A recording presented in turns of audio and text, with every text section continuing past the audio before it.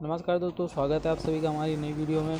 दोस्तों, आज का आज हम लोग जिस प्रोडक्ट के बारे में बात करेंगे, वो है निपॉन पेंट्स निपॉन पेंट्स चौदह सालों से इंडिया की मार्केट में काम कर रहा है और ये लगभग चार पाँच सालों से नॉर्थ में भी आ गई है।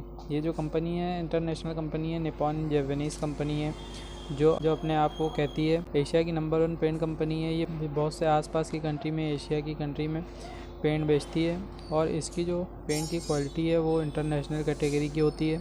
इस कंपनी में बहुत से प्रोडक्ट इंटरनेशनल क्वालिटी के हैं, बट इसका एक सबसे यूनिक प्रोडक्ट जो है, इसका नाम है निपॉन का एटॉम।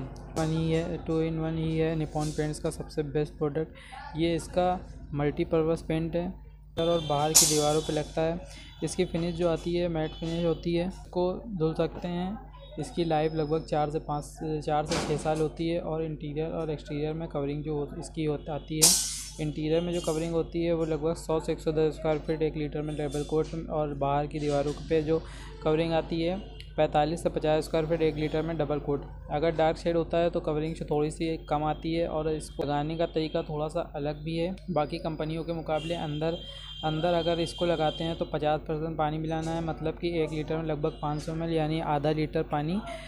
और वही अगर बाहर लगाना है तो इसमें पैंतीस परसेंट पानी मिलाना है मतलब एक लीटर में साढ़े तीन सौ पानी। और डार्क शेड में याद रखिए, बीस परसेंट से तीस परसेंट ही पानी मिलाया जाता है।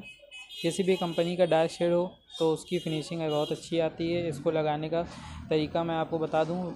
अगर हम इसको अंदर लगा रहे हैं, पुट्टी पे लगा रहे हैं तो वही प्रोसेस है। पहले पुट्टी लगाना है, फिर प्राइमर लगाना है, दीवारों की अच्छी से प्रिपरेशन प्रिपरेशन करनी है घिसाई करनी है। ये करने के इस बाद इसको आप, आपको दो कोट लगाना है। डार्क शेड अगर आपका, आप लगा रहे हैं तो एक दो कोट आपको एक्स्ट्रा लगाना है। लगाना होगा। ध्यान रखिएगा, पहले से दूसरे कोट को लगाने में लगभग चार से पाँच छः घंटे का समय होना चाहिए। वैसे तो ये सूख तो आधे घंटे में भी जाता है, लेकिन पहले से दूसरे कोट में लगभग चार से छः घंटे का समय देना चाहिए बाहर की, बाहर भी इसी तरह से।